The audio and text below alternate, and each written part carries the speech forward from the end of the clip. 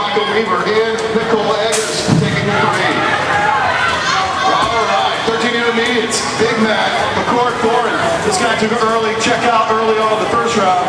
Looking to do it again. Not so quick though. The 504 Carly Vandergraaf. Welcome to out of Corsicana in the one spot.